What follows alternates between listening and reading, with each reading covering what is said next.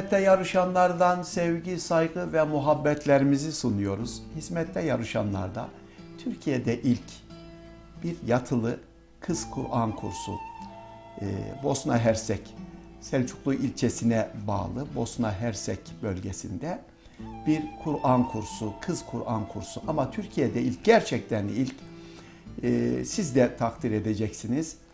E, yüzme havuzu, tuz odası, efendim Türk hamamı böyle muhteşem bir e, yatılı kız Kur'an kursu ve e, yönetim kurulu üyelerinden Sayın Coşkun Budak beyefendi ile beraberiz. Efendim merhabalar. Merhabalar, hoş geldiniz. Sağ olun. Coşkun Hocam siz aynı zamanda e, caminin müezzinisiniz. E, bir taraftan cami hizmeti, diğer taraftan da Kur'an kursunun yapımı. Bu muhteşem kurs, bu kompleks nasıl ortaya çıktı? Bize bir tanıtır mısınız? Burada bir kompleks var. Ciddi bir sosyal tesisleri olan, hatta e, ana sınıfı olan bir e, kompleks efendim buyurun söz. Hocam öncelikle teşekkür ederiz bu ilginizden dolayı size ve KonTV ailesinize. Hoş geldiniz. Burası içinde yüzme havuzu, fitness center'ı, hamamı, tuz odası olan, içinde kreşi olan bir yer, konferans salonu olan bir yer. 230 kişi yatılı 280 kişilik gündüzlü olarak planlandı. Ancak Diyanet'in çıkardığı yeni yönetmeliğe göre burası e, sabahçı, öğlenci ve akşam grupları açılabiliyor.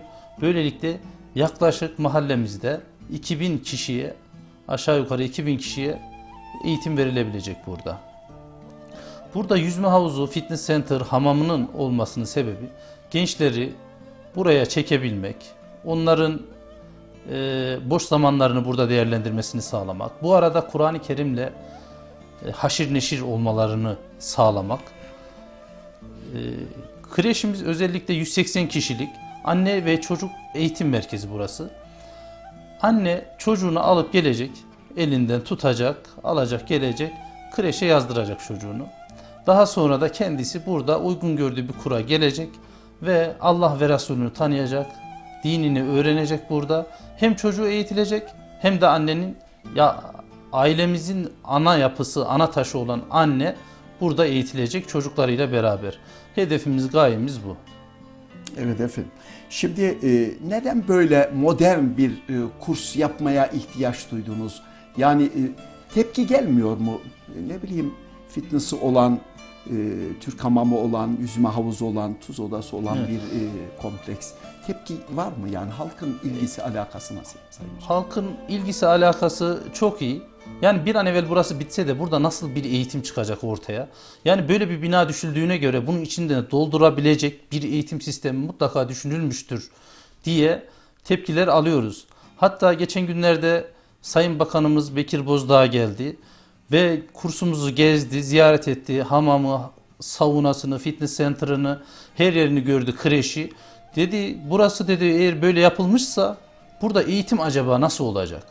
Biz bu eğitimi merak ediyoruz, merakla bekliyoruz. Yani bu insanlığa, bu insanlara burası nasıl hizmet edecek diye. Bunun için de bizim bir yapılanmamız var. Eğitim hazırlıklarımız şu aşamada sürüyor ama tamamlanmak üzere. İstişare kurulu oluşturuyoruz e, ilahiyattan eğitimciler ve değişik kesimlerden eğitimciler var. İsim alabiliriz hocam. Evet. Kimler var o kurulda? Burada kurulda inşallah Profesör Doktor Ahmet Unkal, e, Profesör Doktor Saffet Saffet Köse, Köse hocamız. E, Ali Öge yine yardımcı doçent doktor e, Adil Yavuz, e, yine e, Kamil Güneş hocamız var ilahiyattan. Hocalarımızla bir istişare ettik. Buranın e, eğitimiyle ilgilenme, ilgilenme konusunda bize yardımcı olabileceklerini söylediler. Allah razı olsun. Bu bizim boynumuzun borcu dediler. Bunu yapmamız lazım. Buraya yön verecek. Buranın eğitiminde ışık olacak. Geçmişte eğitim neydi? Şu anda ne ve gelecekte ne olacak ve gençlerimiz nasıl yetişmeli? Nin inşallah e, cevabını arayacağız. Sorunlarımıza çözüm bulacağız tüm insanlığın sorunlarına çözüm bulacak bir eğitim sistemini burada hayata geçirmek istiyoruz inşallah. Hocam nasıl ortaya çıktı? Yani bir örneği yoktu değil mi? Evet. Yani ciddi bir e, yatırım E, nasıl ortaya çıktı böyle bir hani örneği olur da örnek teşkil eder. Sanırım Diyanet'te de büyük bir e, çığır açtınız Evet. örnek teşkil edecek. Evet, Diyanet'te de yeni bir çığır açıldı. Yani her geçen gün e, yeni kurslar açılıyor. Mesela şu anda Seydişehir'de böyle bir kurs yapılanması var. Arkadaşlarımız, dernek yöneticileri geldi, gezdiler. Biz bunu yaptıralım Seydişehir'e. Biraz küçüğünü bu kadar büyük yaptıramayız dediler. Ee, inşallah onlara da şeylerini verdik, e, projelerini verdik. Onlar da başlıyorlar. E, Türkiye'nin dört bir yanından şimdiye kadar 7-8 yerden istediler, gönderdik. Bu e, plan, projeyi kullanabilsinler diye. Diyanet kendisi de istedi. Bundan sonra bunlara dikkate alalım diye. İnşallah yeni bir çığır, Kur'an eğitiminde, Kur'an öğretiminde, hafızlıkta yeni bir çığır açılıyor. Diyanette yenileşme var. Yeni bir sistem, yeni bir anlayış farkıyla topluma nasıl ineriz? Toplumu yani kreşinden, yaşlı annesinden, işte e, teyzelerden, halalardan herkesin eğitim göreceği, onlara nasıl ulaşılabilir, onlar nasıl öğretilebilirin derdinde. Diyanet de böyle. Biz de inşallah bunu değerlendirmeye çalışıyoruz. Sayın Hocam Afrika'ya baktığımız zaman Afrika'da hafızlık yaşı 0-6 yaş. Hafızlık yaşı. Ama bizde maalesef e, belli bir e, fetret dönemi yaşadık. E, ilk öğretimi bitirmeden maalesef Kur'an kursuna gönderilemiyordu. Bakın anlayışa bakın. Ama biz sizin e, özellikle projenize bakıyoruz. Kur'an kursuyla bir kreş yükseliyor. Neden kreş, neden çocukların eğitimi diye sorayım ben. Şimdi geleceğimizin inşasında çocuklarımız çok önemli. Yani bu dimalara Peygamber Efendimiz sallallahu aleyhi ve sellemi İslam dinini küçük yaşta öğretmezsek büyüyünce çok sıkıntılar çıkıyor. 8 yıllık eğitimde de biz bunu gördük. Şu anda hükümet bunu fark etti ve bu yanlıştan döndü. Şu anda Kur'an kurslarına kayıt olma yaşı 3 yaşından başlıyor. Yani resmi resmi olarak 3 yaşında Kur'an kurslarına kayıt yaptırılabiliyor. Bu çocuklar Kur'an'ı 3 yaşında inşallah öğrenmeye, anlamaya, fehmetmeye, bu ortama, bu iklime, bu huşu iklimine girmeye başlayacaklar ve bu iklimle, bu yetişmekle Kur'an'ın dimalara, genç nesillere ve çocuklarımızın dimalarına, beyinlerine nakşedilmesiyle geleceği inşa edeceğiz inşallah. Biz bunun derdindeyiz. E, huzurlu bir toplum, mutlu bir toplum, birilerinin eline bakan değil de ve kendi kendine yetebilen ve insanlığa faydalı olan bir toplumun amacındayız, gayesindeyiz. E, vizyonunuz ve misyonunuz nedir Sayın Hocam? Çünkü günümüze baktığımız zaman maalesef e, değer yargıları alt üst oldu. İnsanlar e, öğrenmesi gereken bilgiler yerine o kadar boş bilgilerle çocuklarımız kafalarını, beyinlerini dolduruyorlar ki e, uluslararası futbolcuların isimlerini sorun. UEFA'dan e, kalecilerin isimlerini sorun. Ama gelin peygamberimizin e, doğum yerini sorarsanız cevabını zor bulursunuz. E, bu durumda sizin vizyonunuz, misyonunuz nedir? Peygamber Efendimiz sallallahu aleyhi ve sellem buyuruyor ki peygamberler han, hamam, saray, mal, mülk miras bırakmazlar. Peygamberler ilim miras bırakırlar. Onun için müminlerin yitiğidir ilim. Onun için çocuk yaşta başlayıp ölene kadar bu ilmin takipçisi olmak gerekiyor. Şimdi batıda eğlence medeniyeti diye yani hayattan ne kadar zevk alınabilirse alınsın, ne kadar haz alınabiliyorsa alınsın. Yani beşeri münasebetlerde filan karşıdan çıkarcılık, ne kadar hazcılık diyorlar buna, eğlence medeniyeti diye yeni bir şey oluşturdular. Hayatı e, nasıl toz pembe gösteririz, nasıl e, boş şeylerle uğraşırız. Hani Peygamber Efendimiz diyor ya, male yani terk etmek kişinin dininin güzelliğindendir diyor. Şimdi takım karşılaşmaları var hafta sonu. İnsanlar kendi takımı yendiyse çok mutlu, motivasyonlu başlıyorlar. İş yerine ona göre gidiyorlar. Ya işte bizim takım şöyle oldu, böyle oldu. Zaten cumadan da bu anlaşma yapılmış, iddialar girilmiş filan. Ve insanlar böyle boş şeyler peşinde koşuyorlar. Ama bir gün bunun hesabının sorulacağı gün gelecek. Biz çocuklarımızı, nesillerimizi, gençlerimizi ve kendimizi bu hesabın sorulacağı güne göre ayarlamamız gerekiyor. Bunun endişesini duyacak gençler. Hani Akif diyor ya, kanayan bir yara gördüm mü yanar ta ciğerim. Yani komşusu aç, açken tok yatan bizden değildir diyor Peygamber Efendimiz sallallahu aleyhi ve sellem. Dinini öğrenecek, etrafıyla hemhal olacak. Sadece burada biz fikir adam yetiştirmek, sadece Kur'an'ı kuru kuru ezberleyen gençler yetiştirmek amacımız değil. Bizim amacımız, gayemiz burada Kur'an'ı öğrenecek ve hayatına uygulayacak ve bunu çıkıp başkalarına anlatacak. Bunu dert edinecek. Yani Toplum- misyonumuz, vizyonumuz Evet. Toplumsal bir derdi olacak. Yani bir yaşlı amcayı bir elinde iki poşetle gördüğü zaman hemen gidip yardım edebilecek. Bir teyze, yaşlı teyzenin kömürü gelmişse bunu taşıyacak kimse yoksa teyze parayla adam aramayacak. Teyzeciğim hemen ben yardımcı olayım diyecek. Böyle birbirinden haberi olan, komşusundan haberi olan, yakınından haberi olan, dünyadan haberi olan. Hani Efendimiz sallallahu aleyhi ve sellem yine diyor ya Dünyanın öbür ucunda bir müminin ayağına bir diken batar da diğer dünyanın ucundaki müminin canı yanmazsa, içi sızlamazsa, bundan haberdar olmazsa vay halimize. Yani bunu dert edinecek. Toplumu dert edinecek, kendini dert edinecek. Nesilleri, yeni yetişecek nesilleri dert edinecek. Yani dertli olacak, biraz dertli. Yani sabah kalktığı zaman ben bugün ne yapmam gerekiyor deyip Allah rızası için hemen akşam yatarken de kendisine soracak bugün ben ne yaptım Allah rızası için diye. Bunları dert edinecek, dertli gençleri yetiştirmek, topluma bir nizam verecek. Günümüzü, geçmişini çok iyi bilecek, geçmişi, tarihini çok iyi bilecek, günümüzün muhasebesini yapacak, geleceğini de planlayacak. Gençler inşa etmek, gençler yetiştirmek bizim görevimiz diye düşünüyoruz ve bu binanın temel amacı, gayesi bu.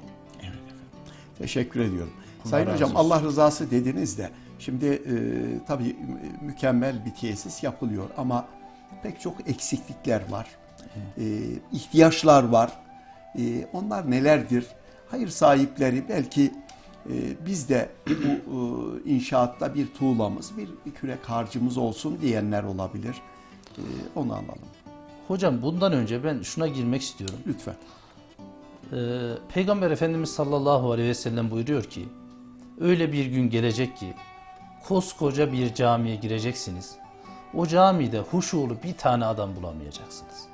Gerçekten şimdi baktığımızda kendimizden de bakalım.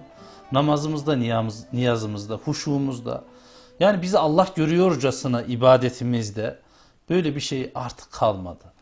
Yani biz çocuklara Kur'an'ı aşılamak, sünneti öğretmek yani ansiklopedik bir bilgi değil. Çocuklar kültürlü yetişsin diye değil yani bilsin diye değil. Bu öğrendiklerini yaşasın diye biz varız.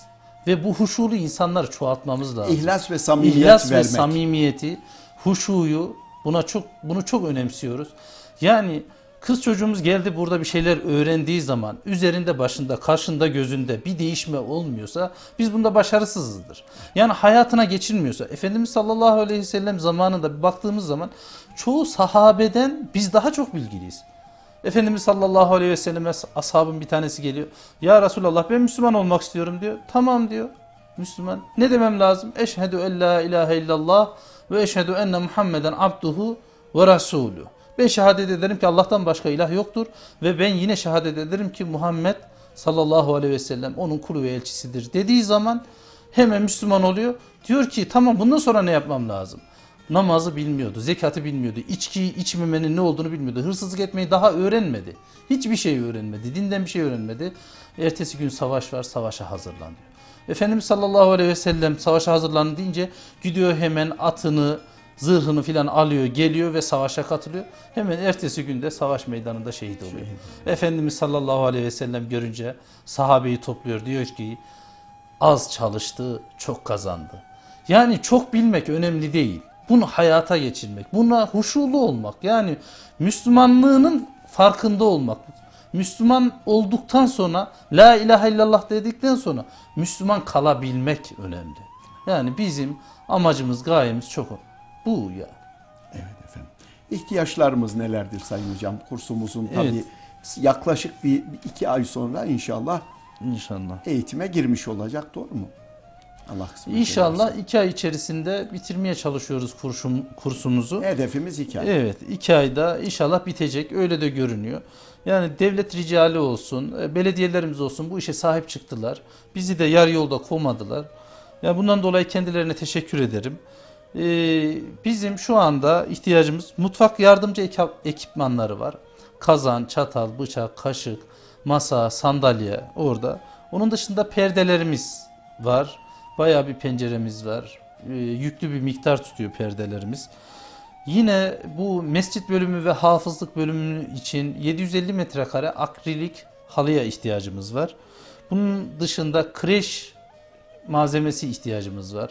Çocukların oynayacağı, yatacağı, kalkacağı, işte onların eğitim göreceği, e, eğitimlerini kolaylaştıracak malzemelere ihtiyacımız var. Bunun dışında tuz odası bir 20 bin kadar tutuyor. Tuz odası niçin yapıyorsunuz? gibi Hocam niye tuz odası? geliyor. Yani Evet. e, şimdi lüks gibi görülüyor da aslında tuz odası demek şifa odası demek. Dilerseniz Evet. o konuda bir halkı bil- bilgilendirelim. Tuz odası benim 3 tane çocuğum var. Üçü de astım, bronşit. Yani çocukluklarından beri hastane filan uğraşıyoruz. Ve duyduk ki e, mesela tuz odası iyi geliyormuş buna. E, tuz odası akciğer ve solunum yollarının temizlenmesini sağlıyor. Astıma iyi geliyor, sedef hastalığına iyi geliyor, egzamaya iyi geliyor. Bronşitin iyileşmesinde e, kullanılıyor. Kronik kulak, burun ve boğaz hastalıklarında kullanılıyor. Stres ve uykusuzluğa iyi geliyor. Cildin yenilenmesini sağlıyor. Sigara içiciler için bunun bırakmasında destekleyici rol üstleniyor ve dolaşım sistemine destek oluyor. Yani bütün bu e, şifalarından dolayı biz dedik ki e, yaşlılarımız da var, teyzelerimiz de var, çocuklarımız sıkıntılı. Bunlar da gelince aynı zamanda burada şifa bulsunlar. Hem sağlıkları için sporlarını yapsınlar. Artık çocuklarımız apartman dairelerinde işte dört duvar arasında mahkum kaldılar malum. E, bunların buralardan çıkıp buralara hem bir eğlence hem bir böyle Kur'an kültürü, Kur'an merkezli bir yaşam, meleklerin kanadının altında bir yaşam. Efendimiz sallallahu aleyhi ve sellem öyle diyor. Kur'an öğretildiği yer, hadisin öğretildiği yer meleklerin kanadının altındadır diyor. Burada çoluk çocuk herkes de gelerek hem sporunu yapacak, hem sağlığına kavuşacak, hem de en önemlisi manevi bilgilerini tazeleyecek, ihlas, samimiyeti öğrenecek bir yer. Huşulu bir ortam. Asr-ı saadetteki gibi, ashab-ı suffa gibi. Efendimiz sallallahu aleyhi ve sellemin ilk me- mescidin yanında kurduğu, inşa ettiği, üniversite diyelim bugünkü üniversite gibi okul. Yani burası çok önemsiyoruz biz bunu. İnşallah toplum da önemsedi. Gezip görenler bunun farkında. İnşallah yani insanlar evinden çıktığı zaman ya bugün sinemaya mı gidelim, şuraya mı gidelim, buraya mı gidelim, şöyle mi olsun filan. Hemen boş kaldığında yani bir boşluk olsa da biz hemen kursa gitsek şöyle bir huşulu, böyle edebin, adabın, yaşlıya saygının, küçüğü sevilenin, insanlarına değer verilen bir yer e, olmasını bekliyoruz. Hedefimiz bu. İnşallah Allah muvaffak eder. Bu yeni bir şey, yeni bir kuruluş, yeni bir kurum, yeni bir anlayış, farklı bir bakış açısı. İnşallah e, bunu kurmaya çalışacağız. Sayın Hedefimiz hocam bu. e, tabii hep uzun süredir bu işin içerisindesiniz. Unutamadığınız bir anınız var mı? Evet, ilginç anımız var. Ee, biz burada cumaları para topluyoruz kursumuz için. Ee, Allah razı olsun. Her cuma topluyoruz. Her cumada bıkmadan usanmadan veriyorlar. Ee, dua ediyorlar buranın bir an bitmesi için. Ee, ellerinden geleni yapıyorlar. Bir gün yaşlı bir amca geldi. Dedi ki ya hocam dedi. Yine "be- sergi vardı. Evet. Ben dedi artık dedi bu saati kullanamıyorum. Cebinden saatini çıkardı. Dedi ki bu dedi tarihi bir saat. Bu dedi para eder. Siz dedi bunu satın. Kursa da bizim bu hayrımıza olsun. Kusura bakmayın elimizden gelen budur dedi. Çok duygulanmıştım. Yine başka bir anımız var. Yani burada e, benim eşim aynı zamanda Kur'an kursu hocası. Burada bir sınıf açtık caminin altında. E, 25 kişi kapasitesi. Yaşlı teyze gelmiş. Burada aynı zamanda biz e, kursumuz devam ediyor. E, dört kuru olarak. Sabahçı var. Sabahları geliyorlar. Öğlenci var. Öğle arası e, burada e, ilkokulda ve diğer okullarda ders veren öğretmenlerimiz geliyorlar Kur'an öğrenmek için. Onlara öğle arası özel bir saat ayarladık. Kur'an'ını öğreniyor. Onlara da hizmet ediyor. Ve Bir de öğleden sonraki grubumuz var. Yine teyzeler geliyor. Cumartesi pazar grubumuz var. Burada da çocuklarımız geliyorlar dinini öğreniyorlar. Ama yerlerimiz dolu. Şimdi gelen oldu mu alamıyoruz. Kabul edemiyoruz. Bu da bize çok acı veriyor. Üzüntü Buranın onun için bir an evvel açılmasını istiyoruz. Teyzenin bir tanesi geliyor diyor ki e, hoca hanıma hoca hanım diyor ben diyor Kur'an öğrenmek istiyorum ve buraya kayıt yaptırmak istiyorum. Bak teyzeciğim diyor hoca hanım. Ya burada hiç yer yok. Yani oturabileceğin de yer yok. Tıktım tıktım dolu. Zaten kayıtsız gelenler de oluyor. Teyze de gelince diyor ki bak benim yaşım geçti. Ne, ne zaman öleceğim belli değil. Kur'an'ı öğrenmeden de ölmek istemiyorum. Ee, diyor ki sen burada oturacak yer bulsan bile hani biz seni ayakta bırakmayız sen bizden yaşlısın bırakmayız ama de ben yetişemem bu sefer. Yani saat belli, şeyin belli, okutabileceğim öğrenci sayısı belli. Ben yetişemem. Diyor ki orada işte 5 yaşında bir çocuk var. Ee, bu çocuk da okutsa, bırak seni, bu çocuk da okutsa ben razıyım diyor. Yani onun için insanlar buna aç, gerçekten buna susuz. Kur'an'ı bir an evvel öğrenmek istiyorlar. Biz bunları geri çevirmememiz lazım. Bu tür inşaatlarla bir an evvel bitirip, hayata geçirip bu insanlar yani teyzenin dediği çok doğru. Ya benim o kadar yani ömrüm var mı? Ben Kur'an okuma zevkini artık tatmak istiyorum. Geç bu yaşa kadar zaten. evet içimde bir acı öğrenemedim. Değişik sebeplerle insanlar öğrenemeyebilir. Ama öğrenmek istiyorum deyince bizim bir an evvel burayı açıp daha başka yerlere de çalışmamız gerekiyor. Evet hocam son olarak neler söylersiniz? Eklemek istediğiniz bir şey var mı?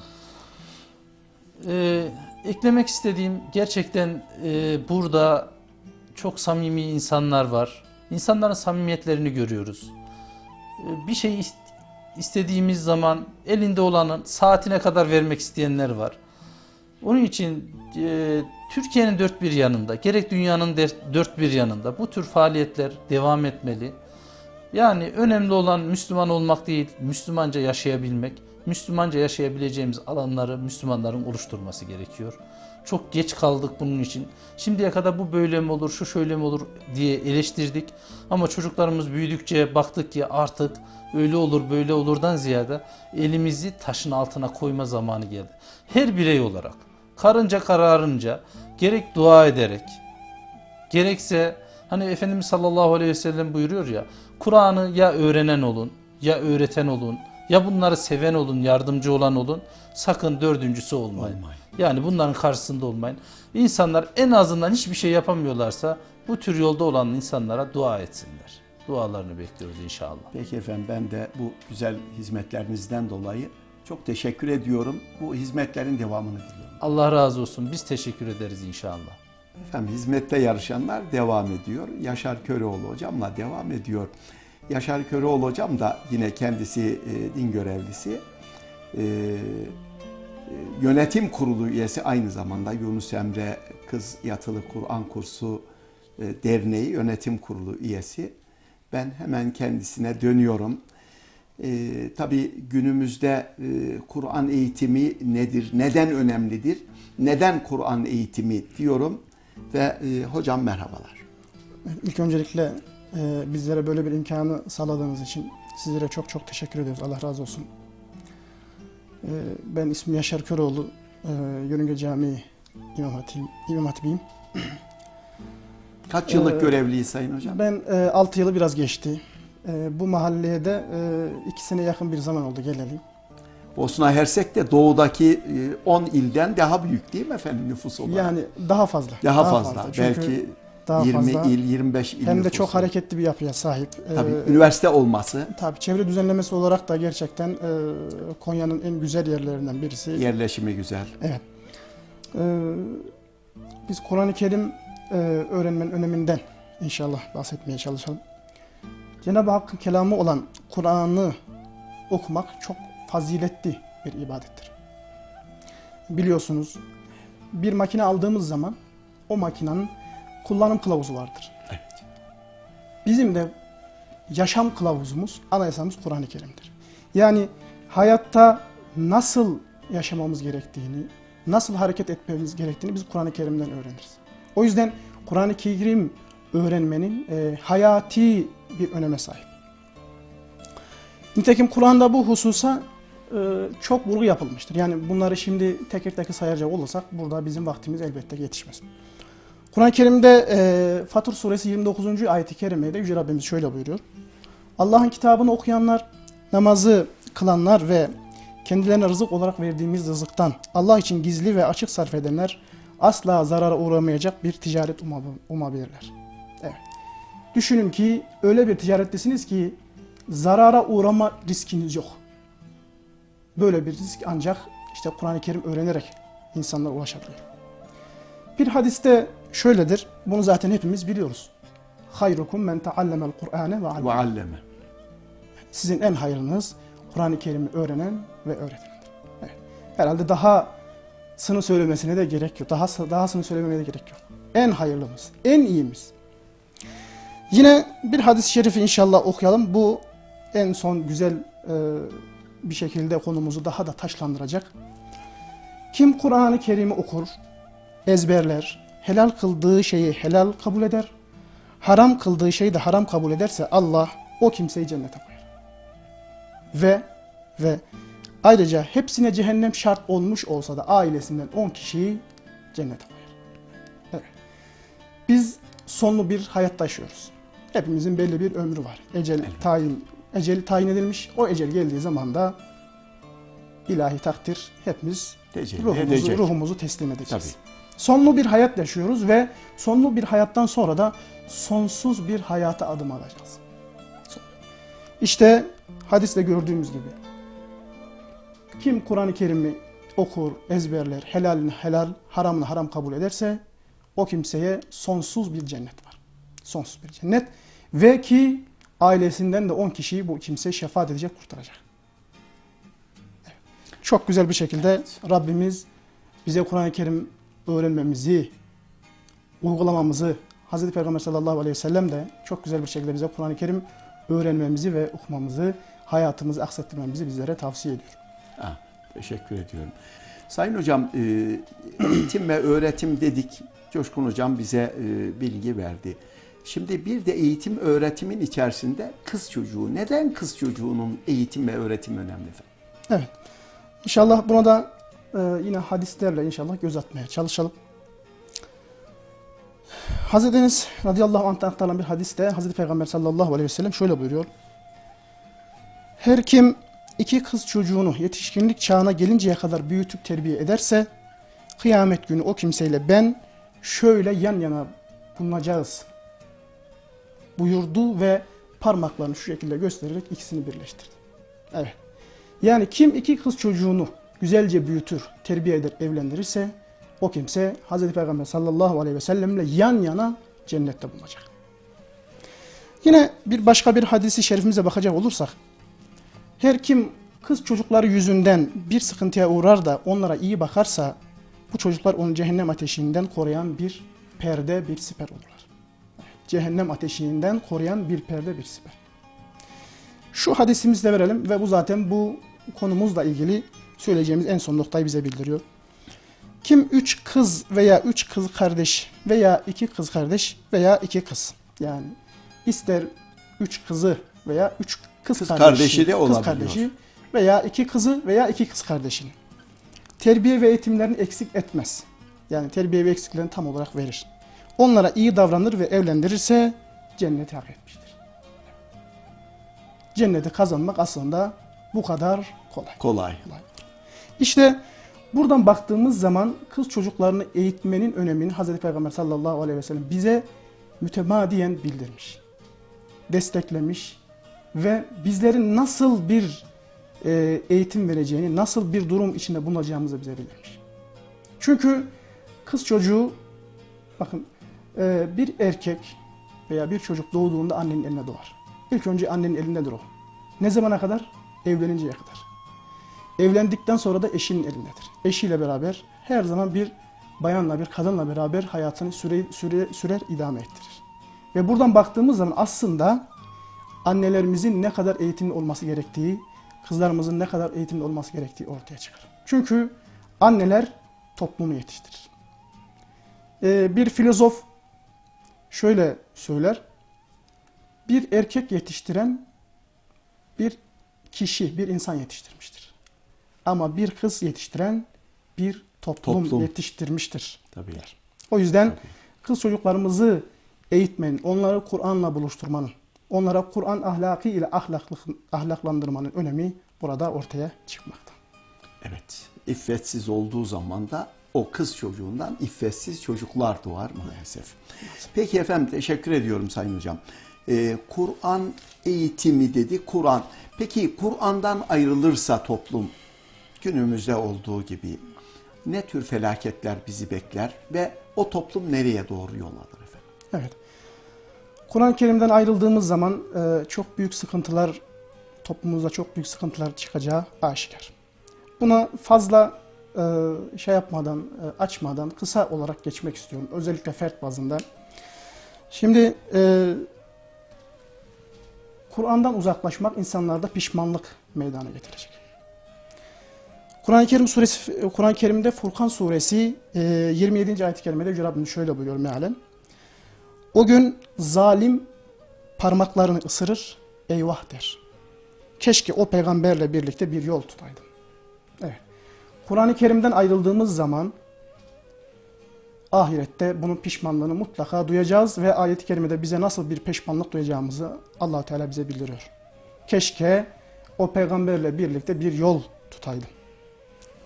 Yine başka bir ayetimiz de bu daha acı. Resulullah sallallahu aleyhi ve sellem ümmetinin Kur'an'dan uzaklaşmalarını, onunla olan bağlarını koparmalarını ve ona gerekli ilgi göstermeyişlerini Cenab-ı Hakk'a şikayet edecek. Furkan suresi 30. ayet-i kerimemiz. O gün peygamber ya Rabbi halkın bu Kur'an'ı terk edip ondan uzaklaştılar der. Evet.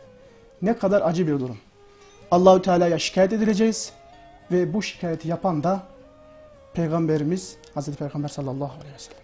Gerçekten çok acı bir durum. Dediğimiz gibi Kur'an-ı Kerim Allah'ın ipidir. Yani az önce söylediğimiz gibi anayasadır. Hablullah. Hablullah. Eğer anayasaya göre hareket etmediğimiz zaman ne olacak? Nasıl bir makine eğer kullanım kılavuzuna göre hareket etmezsek makine bozulursa toplumda o şekilde düzen bozulacak, kargaşalar meydana çıkacak. Bugün görüyoruz.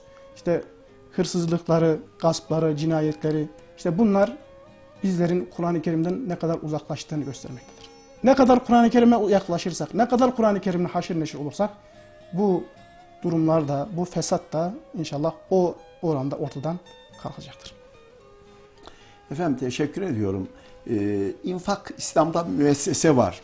Yardımlaşma müesseseleri var. Bunun adına infak diyoruz, zekat diyoruz, fidye diyoruz, fidye diyoruz, Evet. e, kurban diyoruz. Ama bunların hepsinin bir amacı var. Allah'a yaklaşmak için yardımlaşma. İslam'da yardımlaşmanın yeri ve önemi nedir Sayın Hocam?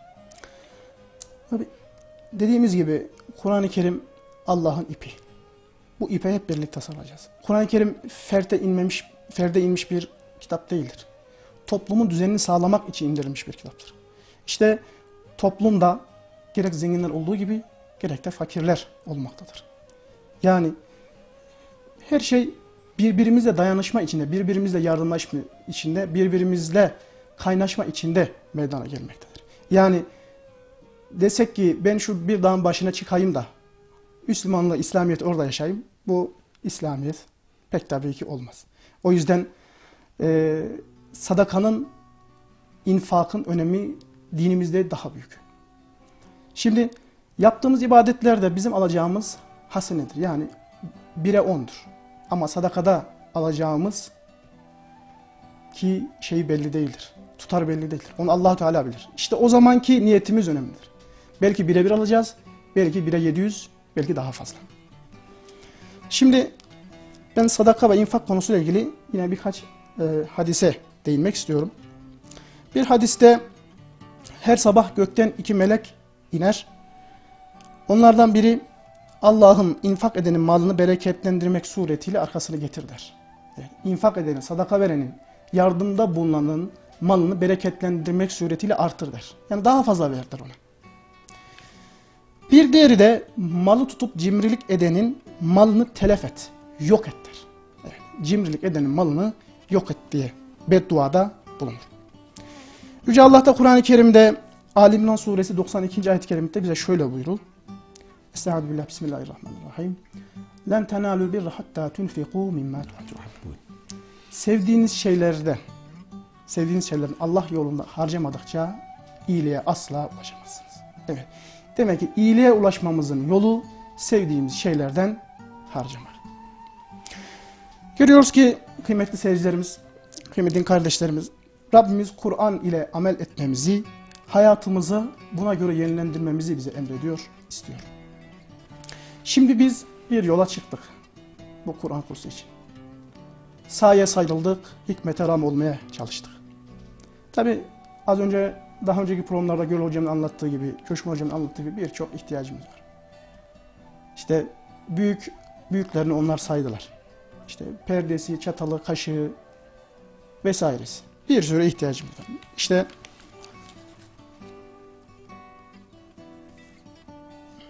bizler e, yardıma ihtiyacımız var açıkçası. Peygamberimiz sallallahu aleyhi ve sellem buyuruyor ki müminlerin dertleriyle dertlenmeyen bizden Değildir. Evet, biz bu Kur'an kursunu yapmaktaki amacımız müminlerin dertleri dertlenmek. Ama ilk önce bunu ne yapmamız? İnşa etmemiz, vücuda getirmemiz gerekiyor ki ondan sonra hizmetlerimize devam edebilelim. Tabi bu durumda bizlere parasal olarak destek yapabileceğiniz gibi aynı zamanda e, bizleri başkalarına anlatarak, bizlerimiz bizlerin sözcüsü olarak e, da yardımda yardımda bulunabilirsiniz. Yine bizlere dua ederek, dualarınızdan eksik etmeyerek yine bizlere yardımcı olabilirsiniz. Biz, biz her türlü sizlerden yardımlarınızı bekliyoruz. Evet Sayın Hocam bir de şu var. e, Hani e, mümin ölünce amel defteri kapanır. Evet.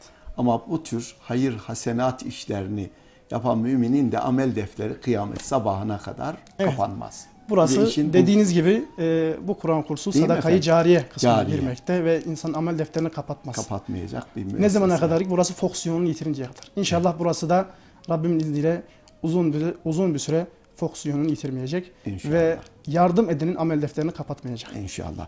Sayın Hocam bir de sosyal e, bir cami derneği, e, Kur'an kursu derneğisiniz ama bir de sosyal faaliyetleriniz var. Oradan da bahseder misiniz? Nedir sosyal faaliyetleriniz? Sosyal faaliyetlerimiz e, biz tabi bu Kur'an'ı e, Kur'an kursunu e, vücuda getirmenin dışında dernek olarak yaptığımız e, faaliyetler de var sosyal faaliyetler. Çünkü az önce söylediğimiz gibi müminlerin dertleri dertlenmeyen bizden değildir buyuruyor Hazreti Peygamber sallallahu aleyhi ve sellem. Biz de onların dertleriyle dertlenmeye çalışıyoruz elimizden geldiği kadar. E, Gürül Hocam aracılığıyla bizlere e, gıda paketleri gelir. Biz o gıda paketlerini aşağı yukarı bu mahallemizde 200'e yakın ailemiz var. ihtiyaç sahibi. Onlara iletiriz. Yine bunların içinde e, dullarımız var. Yine bunların içinde yetimlerimiz var. Yine bunların içinde çok çocuklu olup da e, aldığı maaşı, ücreti yetiştiremeyen kardeşlerimiz var. Evi kira Bunlara biz gıda paketlerini e, rutin olarak iki, iki ayda bir, üç ayda bir rutin olarak bize gelir. Biz de onları kendilerine ulaştırırız. Yine e, kışın kömür yardımı, kömür yardımı yapmaya çalışırız. Yine dediğimiz gibi bu sosyal faaliyetlerin yanında e, zaman zaman hasta ziyaretlerimiz olur bizlerin. Yani yaşlı olsun e, veya engelli olsun veya yatalak hasta olsun e, kardeşlerimizi biz ziyaret ederiz. Allah Resulü buyuruyor ki e, hasta ziyaretine giden evine dönünceye kadar cennet bahçesindedir. Bizler bu cennet bahçesinin içinde olmaya gayret ediyoruz, sarf ediyoruz. Ve bu konuda da inşallah Rabbim bizleri e, muvaffak eylesin. Yani e, vatandaşın derdi bizim derdimiz. Evet, bizim Ümmetin derdi bizim Ümmetin derdi derdimiz. bizim derdimiz. Onlara deva olabiliyorsak, şifa olabiliyorsak, sıkıntılarını giderebiliyorsak Bizim için daha büyük mutluluk büyük mutluluk. yok. Peki efendim e, son olarak seyircilerimize neler söylersiniz? E, gençliğe neler söylersiniz? Gerçekten e, hocam da söyledi. Bir kısım gençlik gerçekten yolunu bulmuş, yolunda gidiyor ama maalesef yolunu kaybeden çok gençliğimiz var. Örfünü, benliğini, adet, adetini, geleneklerini, inancını maalesef unutan da bir gençliğimiz var. E, neler söylersiniz Sayın Hocam? Geçen söyleyebileceğimiz yine Hazreti Peygamber sallallahu aleyhi ve sellemin dilinden. Ee, buyuruyor ki e, iki e, nimet vardır ki insanlar bunları değerlendirmede aldanmıştır. Bunlardan birisi nimet, şey, bunlardan birisi vakit, birisi sağlık. O yüzden gençliğin kıymetlerini bilip ona göre hareket etmelerini, e, Allah ve Resulü'nün izinden giderek, Allah Resulü buyuruyor ya, size iki emanet bırakıyorum, ona sımsıkı sarıldıkça yolunuzu asla kaybetmezsiniz. Bunlardan birincisi Allah'ın kitabı Kur'an, ikincisi Peygamberinin sünneti. Hayatlarını buna göre tanzim etmeleri ve hayırda yarışan, Kur'an-ı Kerim'de Allah Teala buyurduğu gibi hayırda yarışan bir ümmet olmaya aday olmamız. Gençliğe söyleyebileceğimiz e, bizim bunlar. Evet Sayın Hocam teşekkür ediyoruz bu güzel hizmetlerinizden dolayı. Allah razı olsun. Allah muvaffak Sizden. etsin, Allah yardımcınız olsun. Ben inanıyorum bizim seyircilerimiz hassastır inşallah. Yanınızda yer alacak, arkanızda falan değil. Ve e, Cenab-ı Hak da sizi darda, sıkıntıda bırakmayacak inşallah. İnşallah. Teşekkür ediyoruz efendim. Allah razı olsun. Teşekkür ederim ben sizlere. Evet, hizmette yarışanlarda Yunus Emre Yatılı Kız Kur'an kursunun o muhteşem projesini gördük. Türkiye'de ilk e, fitness'ıyla, e, efendim Türk hamamıyla, tuz odasıyla, yüzme havuzuyla gerçekten muhteşem. Bunlar ne adına? E, hepsi bunların hepsi lüks değildir asla. E, Kur'an'ı sevdirme adına, Kur'an adına, peygamber adına, din adına inşallah bu e, güzel hizmetler inşallah faaliyete geçecek. Geçtikten sonra tekrar bu güzel mekanı yeniden birlikte inşallah göreceğiz. Bir hizmette yarışanların daha sonuna geldik. Yunus Emre Yatılı Kız Kur'an kursunun o muhteşem projesini hep birlikte gördük. Bir başka hizmette yarışanlarda başka bir programda yeniden beraber olmak ümidiyle esen kalın efendim.